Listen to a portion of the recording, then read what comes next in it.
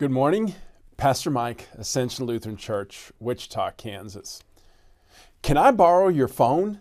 She, a total stranger, me, unsure how to respond, fully aware of the scans where you lend your phone and the person runs away with it. I need to call my phone. It's in the Uber, she said. The situation looked legit, she not acting. To say she was distraught doesn't do justice. Wanting to check her shopping list revealed her phone was joyriding around Wichita instead of obediently waiting in her purse. Her call didn't work.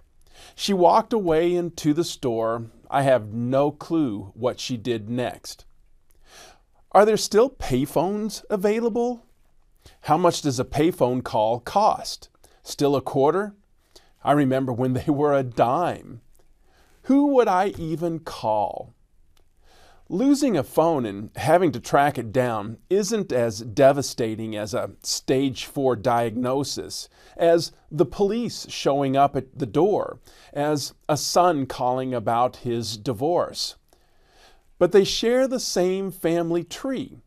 The life you hope for doesn't always happen, often doesn't happen. Dreams become nightmares in the blink of an eye, in the loss of a phone. What then? We freak out, mourn for months, try a new doctor and her regimen, wallow in the wondering of how often we'll see the grandkids.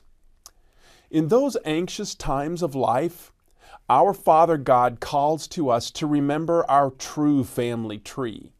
We belong to Him to the one who heals, the Savior who reconciles, the Counselor who speaks comfort into our sadness, confidence into our confusion, the God who guides us through nightmares when we know not whom to call or even how, the one who promises nightmares don't last forever, not in His kingdom, not with His people.